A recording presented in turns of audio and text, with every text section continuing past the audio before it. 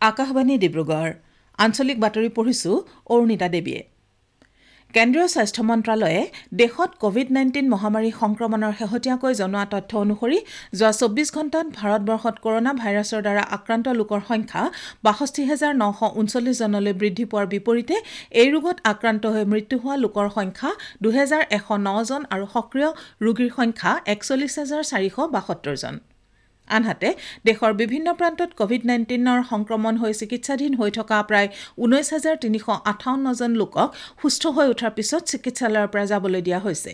উল্লেখযোগ্য যে যোৱা চৌব্বিছ ঘণ্টাত দেশত তিনি হাজাৰ দুশ সাতসত্তৰজন লোকৰ শৰীৰত কৰনা ভাইৰাছৰ সংক্ৰমণ ধৰা পৰাৰ বিপৰীতে এই সময়ছোৱাত সংক্ৰমিত এশ সাতাইছজন লোকৰ মৃত্যু হৈছে। ৰাজ্যৰ স্বাস্থ্যমন্ত্ৰী ডঃ হিমন্ত বিশ্ব শৰ্মাই টুইটযোগে দিয়া তথ্য অনুসৰি অসমত কালি আৰু তিনিজন লোকৰ শৰীৰত কৰনা ভাইৰাছৰ সংক্ৰমণ নিশ্চিত হোৱাৰ পিছত ৰাজ্যখনত কভিড নাইণ্টিন আক্ৰান্ত লোকৰ সংখ্যা বাষষ্ঠিজন হ'লগৈ। ইয়াৰে চৌত্ৰিছজন লোক সম্পূৰ্ণ সুস্থ হৈ উঠাৰ পিছত চিকিৎসালয়ৰ পৰা যাবলৈ দিয়া হৈছে আৰু ছাব্বিছজন লোক বৰ্তমান চিকিৎসাধীন হৈ আছে বুলি জানিবলৈ দি মন্ত্ৰীগৰাকীয়ে কয় যে ৰাজ্যখনত কৰোণাত আক্ৰান্ত হোৱা দুজন লোকৰ মৃত্যু হৈছে। ইয়াৰে এজন হাইলাকান্দিৰ আৰু আনজন গুৱাহাটী মহানগৰ জিলাৰ ষোল্ল বছৰীয়া এগৰাকী কিশোৰী। গুৱাহাটীত মৃত্যু হোৱা কিশোৰীগৰাকী সম্পৰ্কে মন্তব্য কৰি শ্ৰীশৰ্মাই কয় যে তেওঁক কভিড নাইণ্টিন চিকিৎসা প্ৰদান কৰা হোৱা নাছিল। মৃত্যুৰ পিছতহে তেওঁ কৰোণা আক্ৰান্ত আছিল বুলি গম পোৱা যায় আৰু তাৰ পৰিপ্ৰেক্ষিতত তেওঁৰ মৃত্যুৰ কাৰণ ঘোষণা সম্পৰ্কে কেন্দ্ৰীয় স্বাস্থ্য মন্ত্ৰালয়ৰ সৈতে আলোচনা কৰা হ'ব। অসমত এতিয়ালৈকে ষোল্ল হাজাৰ এশ সাতষষ্ঠিটা নবেল কৰোণা ভাইৰাছৰ নমুনা পৰীক্ষা কৰা হৈছে আৰু ইয়াৰে ন হাজাৰ দুশ সাতত্ৰিছজন লোকৰ গাত ৰোগবিধৰ লক্ষণ দেখা নিদিয়াৰ পৰিপ্ৰেক্ষিতত তেওঁলোকক হোম কোৱাৰেণ্টাইনত ৰখা হৈছে। লকডাউনৰ সময়ছোৱাত ৰাজ্যৰ ৰেচন কাৰ্ড নথকা দুখীয়া ৰাইজক নগদ এহেজাৰ টকাকৈ প্ৰদান কৰাৰ ক্ষেত্ৰত অভিযোগ উঠা গাফিলতি আৰু অনিয়মৰ বিৰুদ্ধে পঞ্চায়ত আৰু গ্ৰামোন্নয়ন মন্ত্ৰী নৱকুমাৰ দলে তদন্ত ঘোষণা কৰিছে। নগাঁও জিলাত এনে দুৰ্নীতি সংঘটিত কৰা বুলি অভিযোগ উঠা তিনিগৰাকী খণ্ড উন্নয়ন বিষয়াৰ বিৰুদ্ধেও তদন্ত কৰা হ'ব বুলি মন্ত্ৰীগৰাকীয়ে জানিবলৈ দিয়ে। কৰনা ভাইৰাছ মহামাৰীৰ বিভীষিকাৰ প্ৰতি লক্ষ্য ৰাখি কেন্দ্ৰীয় মাধ্যমিক শিক্ষা বোৰ্ডে দশম আৰু দ্বাদশ শ্ৰেণীৰ পৰীক্ষাৰ উত্তৰ বহীসমূহ মূল্যায়নৰ ক্ষেত্ৰত এইবাৰ নতুন ব্যৱস্থা গ্ৰহণ কৰিছে।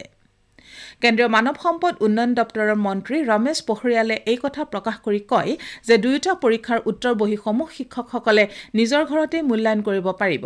সেই উদ্দেশ্যে দেশৰ বিভিন্ন অঞ্চলৰ তিনি হাজাৰখন বিদ্যালয় বাছনি কৰা হৈছে আৰু ইয়াৰ পৰাই শিক্ষকসকলক পৰীক্ষাৰ বহীসমূহ মূল্যায়নৰ বাবে হস্তান্তৰ কৰা হ'ব।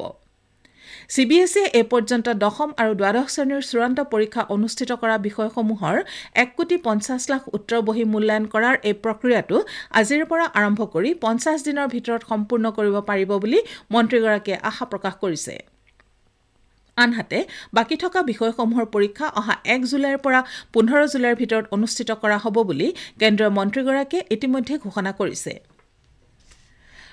ৰাজ্যখনত কিছুদিনৰ পৰা আফ্ৰিকান শ্লাই শ্বাইন ফ্লু নামে এবিধ ৰোগ গাহৰিৰ শৰীৰত সংক্ৰমিত হৈ তেৰ হেজাৰ গাহৰিৰ মৃত্যু হোৱাৰ ফলত ৰাজ্যত গাহৰি পালনৰ সৈতে জড়িত কেইবাশও লোক অতি বেয়াকৈ ক্ষতিগ্ৰস্ত হৈছে।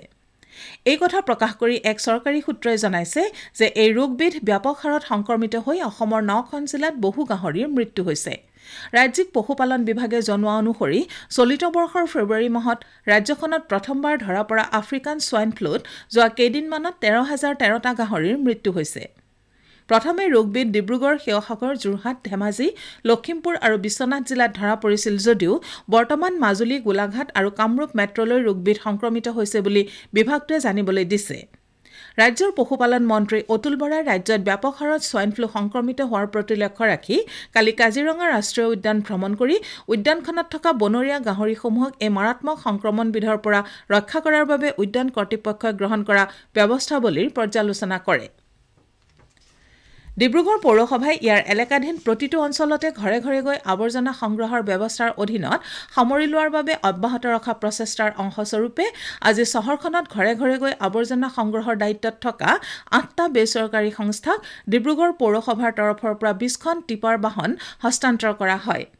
উল্লেখযোগ্য যে ডিব্ৰুগড়ৰ লেকাইত এছিয়ান ডেভেলপমেণ্ট বেংকৰ পুঁজিৰে ৰূপায়ণ হৈ থকা অসম নগৰ আন্তঃগাঁথনি বিনিয়োগ কাৰ্যসূচীৰ গোটা আৱৰ্জনা নিষ্কাশন প্ৰকল্পৰ অধীনত ক্ৰয় কৰা মুঠ পঞ্চাছখন টিপাৰৰ ভিতৰত এই বিছখন টিপাৰ আজি পুৱা ডিব্ৰুগড়ৰ সাহিত্যৰথী লক্ষ্মীনাথ বেজবৰুৱা উদ্যানত অনুষ্ঠিত এক কাৰ্যসূচীত অসম নগৰ আন্তঃগাঁথনি বিনিয়োগ কাৰ্যসূচীৰ বিষয়ববীয়াই ডিব্ৰুগড়ৰ পৌৰসভাক হস্তান্তৰ কৰে।